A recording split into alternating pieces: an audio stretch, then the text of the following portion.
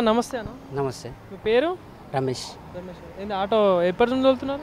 Auto అనేది నేను three years నుంచి ఆటో నడుపుతున్నాను. కానీ అప్పుడు ఉందన్న మరి పరిస్థితి ఆటో వాళ్ళది? ఆటో పరిస్థితి ఎట్లుందంటే ఇంతకుముందు ఇంతకుముందేమో ఆటో ఆటోనేమో ర్యాపిటోలో లేనప్పుడేమో బాగుండేది. ఎక్కడ పోయినా గిరాకులు దొరికేది ఏదో తక్కువలో వెళ్ళిపోయేది. ఎంత ఎంతో ఇప్పుడు రెండు వందల కాడ నూట యాభై కాడ వెళ్ళిపోయేది. ఇప్పుడు ర్యాపిటోలో ఓబర్ వచ్చింది. వాళ్ళకి ఏంది డైలీ ఐదు వందలు కట్టాలి. రెండు వేలు చేస్తే ఐదు వందలు ర్యాపిటోన్కి పోతున్నాయి. ఐదు వందలు గ్యాస్కి పోతున్నాయి. వెయ్యి రూపాయలు ఇంటికి తీసుకుపోతున్నాం.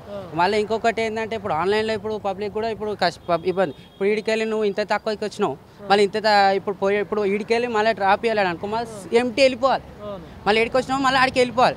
మళ్ళీ ఆడికి వెళ్ళి డ్రాప్ వేసుకోవాలి. ఇప్పుడు డైరెక్ట్ డ్రాప్ అంటే డైరెక్ట్ డ్రాప్ అవడానికి కష్టం అవుతుంది మీ ఇప్పుడు మీటర్ సీల్ ఉంది. మీటర్ సీల్ ఎందుకు పెట్టినా అర్థమవుతుంది గవర్నమెంట్ కేసీఆర్. ఇప్పుడు కేసీఆర్ ఏమో ఇప్పుడు కే అప్పుడేమో మీటర్ సీల్కి మీటర్ మీద చెక్ చేయకపోతే పోలీసు వాళ్ళు పట్టుకుంటుండే మీటర్ లేకపోతే. ఇప్పుడు మీటర్ మీద కొట్టాలంటే కూడా మీటర్ ఎందుకు ఉందంటే ఒక డిస్ట్ బొమ్మ లెక్క ఉన్నది. ఇప్పుడు డీజిల్ బండ్లు ఉన్నాయి. ఇప్పుడు జైరాబాద్ నుంచి పొటెన్షియల్ నుంచి సంగారెడ్డి నుంచి మెదక్ నుంచి మేడ్చల్ నుంచి అక్కడికి వెళ్ళి సికిరాబాద్ దాకా వస్తున్నాయి. అవి ఎక్కడెక్కడికి వెళ్ళి వస్తున్నాయి అన్ని జామ్ అవుతున్నాయి సికిరాబాద్ బండ్లు. ఆ ట్రాఫిక్ జామ్ అయిపోతుంది అవి. ఆన్లైన్ వెహికల్స్లో వస్తున్నాయి. అన్ని జామ్ అవుతుంది పబ్లిక్ అనేది ఆన్లైన్ కరెక్టే సేవే. కానీ మళ్ళీ మీటర్ ఎందుకు? ఇప్పుడు బండి వచ్చేసి ఇప్పుడు ఐదు లక్షలు ఆ నర ఉంది. కా ఆటో ముంగట ఇప్పుడు ఇరవై ఐదు సంవత్సరాల బండి కారు కూడా బేకార్ పని. పనికి రాదు ఆటో ముంగట. నేను ఒక లెక్క చెప్తున్నా. మా అంటే అది కార్లో కూర్చున్నాం ఒక డిస్ట్ బొమ్మనే కానీ ఇది ఇదేమో బయట గాలి అదేమో లోపల గాలి. అంతే. కుల్లే చెప్తున్నా. ఇప్పుడు షోరూమ్ బండి కొనాలంటే ఐదు లక్షలన్నర. అంటే గవర్నమెంట్ నుండి ఏమైనా అందుతుంటా మరి లోన్స్ లాగా కానీ సబ్సిడీ లాగా ఏమీ దొరకవు మాకేం అందవు. ఆటో అంటేనే ఒక వింతగా మాట్లాడతారు.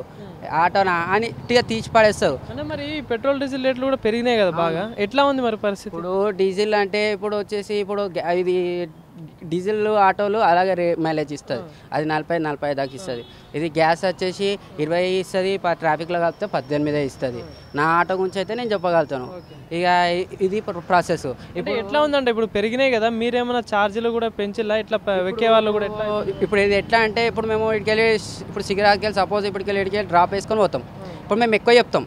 ఎందుకంటే మేము మీటర్ ఇప్పుడు ఏంటంటే ఇప్పుడు ర్యాపిడో లోపల వచ్చినాయి. ఇప్పుడు మీటర్ తరపున కరెక్ట్గా పోవాలనుకుంటేనేమో మాకు ఏం లేదు. ఎందుకంటే ఇప్పుడు ర్యాపిడో ఏంటంటే ఇప్పుడు ఇక్కడికి వెళ్ళి మీటర్ తీసుకోవద్దు అక్కడికి వెళ్ళి మీటర్కి వేస్తున్నాడు అది ఏంది అనికి అనికే లాభం ఉంది. కానీ అనికి అమలాడ కట్టాలి.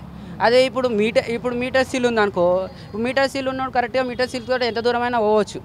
రూపాయి ఎట్లా ఉంది మరి ఇప్పుడు సిటీలో చూసుకుంటే ఈ ట్రాఫిక్ సమస్యలే కానీ డెవలప్మెంట్స్ పరంగా కానీ ఎట్లా ఉందంటావు? అభివృద్ధి పరంగా కానీ ఇప్పుడు చూస్తుంటాను.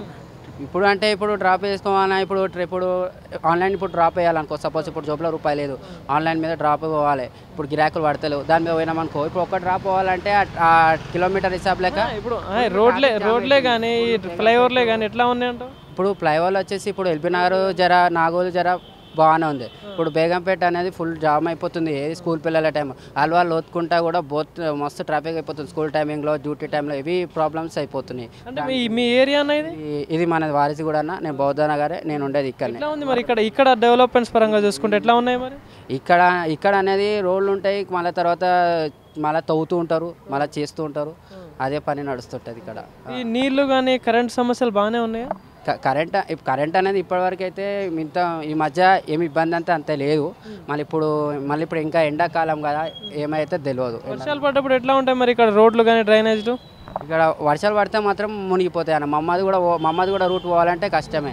వీడికెళ్ళి లలిత నగర్ అంబర్ నగర్ చిన్న చిన్న ఏరియాల కల్లా పోవాలంటే ఆటో తీసుకొని పోవాలంటే చాలా కష్టమే ఉంటుంది వర్షాకాలంలో అన్నప్పుడు. అన్న మరి ఇక్కడ ఎమ్మెల్యే ఉన్నారు కదా పద్మారావు. ఎట్లా చేస్తున్నారు? పనితీరే కానీ అభివృద్ధి కానీ ఇక్కడ? ఇప్పుడు ఆయనది ఏంటంటే ఇప్పుడు ఎదురుగా వస్తే మనము ఆయనని అడగలేము. ఇక ఆయన లేనప్పుడు ఇది అడగాలి అది అడగాలి ఈ పని చేయాలి ఆ పని చేయాలని ఆయన అనేది అలా ఉంటుంది. ఆయన ఆయన ఎవరైనా సరే ఆయన ఇప్పుడు ఏరియాకి వస్తాడు. ఆయన ఏ- చేస్తాడు అలా మొత్తం యాత్ర చేస్తాడు. కానీ ఆయన ఎదురుగా వచ్చేటప్పుడు ఎవరు మాట్లాడలేక పోతారు. కానీ ఆయన లేని ఆయన ఈడ గల్లీకి వచ్చినప్పుడు ఎన్నో మాట్లాడాలనుకుంటారు. కానీ గల్లీకి వచ్చే ముందు ఆయన దగ్గరికి వస్తే ఎవరు ఏం మాట్లాడాలి అంటే ఒకవేళ సమస్యలు చెప్పుకున్నా కూడా పరిష్కరిస్తారా మరి? ఇట్లా సమస్యలు తెలుసుకుంటారా మరి? తెలుసుకుంటాడు కానీ ఉన్నోనికి మాత్రం హండ్రెడ్ పర్సెంట్ చేస్తాడు అన్న లేనోనికి మాత్రము జర దూరం పెడతాడు. చేస్తాడు కానీ ఎట్లాంటివి అంటే జర చిన్న చిన్న పట్టించుకున్నట్టు చేస్తాడు. మరి ఏమైనా పథకాలు ఏమైనా అందుతున్నాయా మరి గవర్నమెంట్ నుండి?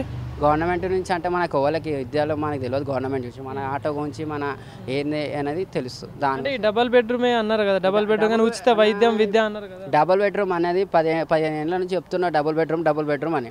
ఇప్పుడు డబుల్ బెడ్రూమ్ ఇంతవరకు ఇక్కడ లేదు. ఒకవేళ ఇక్కడ యాక్చువల్లీ ఇది ఖాళీ స్థలంలో ఉండే సీతాఫల్ మండిలో. అది కూడా డబుల్ బెడ్రూమ్ కట్టిస్తేమో పద్మనాభం అనుకున్నాం. కానీ అది ఫంక్షన్ లెక్క కట్టిండు అది. ఎందుకంటే లేని వాళ్ళు ఇట్లా చేసుకోవడానికి అని కట్టిండు. అది ఎందుకు కట్టిండేమో అర్థమవుతలేదు కానీ అది ఉన్నోడు ఉన్నోడు నడుస్తుంది. అది వాళ్ళ యాత్రలో వాళ్ళ పానాతలో నడుస్తున్నది అది. మరి స్కూల్స్ కానీ హాస్పిటల్స్ ఎట్లా ఉన్నాయని ఇక్కడ? ఇక్కడ స్కూల్స్ స్కూల్సా? ఇక్కడ స్కూల్స్ అనేది ఇక్కడ నార్మల్గా స్కూల్స్ ఉన్నాయి అసలు. ఇంకా గవర్నమెంట్ స్కూల్ అంటే ఇక నెహ్రూ హై స్కూల్ ఉండే దాన్ని మొత్తం ఒలగొట్టి పడేసిండు. ఇక సీతాఫలం అండి ఫ్లైఓవర్ ఎక్కి దిగినాక రైట్ సైడ్లో ఉన్నది. అది దాని మీద అంత పేరు లేదు. మరి హాస్పిటల్స్ మరి ఏమైనా హాస్పిటల్ ఏమైనా అవసరం వస్- అంటే ఏమైనా ఎమర్జెన్సీ ఉంటే ఎక్కడికి వెళ్తారు మరి హాస్పిటల్ ఇక్కడ ఎమర్జెన్సీ అయితే గవర్నమెంట్ గాంధీ హాస్పిటల్ దగ్గరనే కదా. ఇక్కడ దేనికైనా అంత అంటే గాంధీ హాస్పిటల్ లేదంటే ఇక్కడ పక్కన హాస్పిటల్ అన్న మరి ఒకవేళ మళ్ళీ వచ్చే ఎలక్షన్లో చూసుకుంటే మళ్ళీ నేను గెలిపించుకుంటా అంటే గెలిచే ఛాన్స్ ఉందంట నాకు తెలిసిన వాడికి ఒకవేళ వస్తే మాత్రము ఎక్కడైనా తెలంగాణ ఒకవేళ సీట్లు కొట్టుకొని వచ్చినా తెలంగాణ వచ్చినా సీట్లు దిగిపోతాయి. ప్లస్ ఇంకొక పాయింట్ ఏంటంటే ఒకవేళ బీజేపీ వచ్చింది అనుకో? ఇక ఒకవేళ వచ్చినా కానీ మళ్ళీ నెక్స్ట్ ఇయర్ అంతకుముందు నెక్స్ట్ ఇయర్ మాత్రం చెప్పలేము మరి లాస్ట్ టైం కూడా బీజేపీ నుండి సతీష్ అని ఎవరు నిలబడ్డారు కదా. ఎట్లా ఉంటుంది? మళ్ళీ ఒకవేళ ఆయనకి నిలబడితే వచ్చేసి మన బౌద్ధ నగర్లో అయితే అన్ని ఓట్లు అనేది నొల్లిలైనాయి మస్తు. కింద మొత్తం లలిత నగరు అక్కడ ఇక్కడ పైసలు ఇచ్చిరని చెప్పి ఒకళ్ళ మీద ఒకళ్ళు. ఓట్లు మాత్రం ఏం చక్కగా జరగలేవు. ఆమె కూడా కవిత కూడా చాలా బీజేపీ ఆమె లీడర్ కూడా గొడవ చేసింది. కానీ మళ్ళీ లాస్ట్కి వచ్చినాక ఎలక్షన్ టైంలో ఆమె ఏం చేసిందో ఆమెకే నోరు అయిపోయింది మళ్ళీ ఇక్కడ ఏంటంటే టీఆర్ఎస్ ఏంటంటే కార్పొరేటర్ జర అందు జర ఉన్నట్టుగా ఫ్రెండ్షిప్ లెక్క ఉంటారు కానీ బీజేపీ కార్పొరేటర్లు ఏంటంటే వాళ్ళది వాళ్ళకే ఉంటుంది. మరి ఎవరు గెలిచే ఛాన్స్ ఉందట ఈసారి ఒకవేళ ఇక్కడ ఎవరు విన్ అయితే మీ సమస్యలు తీరి మీకు మంచి అభివృద్ధి అవుతా ఉంటారు మీరు మూడు పార్టీలలో? అంటే ఇక్కడ చూడాలి ఎమ్మెల్యే అనేది ఇప్పుడు యాక్చువల్లీ ఏంటంటే ఇప్పుడు కిషన్ రెడ్డి అంటే ఎంపీగా ఆయన ఇక్కడ హండ్రెడ్ పర్సెంట్ గెలుస్తాడు. ఒకవేళ ఆయన ఎమ్మెల్యే సీట్కి ఇచ్చినా ఇక్కడ ఆయన గెలుస్తాడు. పక్కా. బీజేపీ వచ్చే ఛాన్స్ ఉందట ఈసారి. అంటే అట్లా మంచి ఎమ్మెల్యేల నుంచే పెడితే గ్రాండ్ పట్టే నుంచే పెడతాడు. నార్మల్ ఏ ఎమ్మెల్యే నుంచున్నా హండ్రెడ్ పర్సెంట్ బీజేపీ రాదు.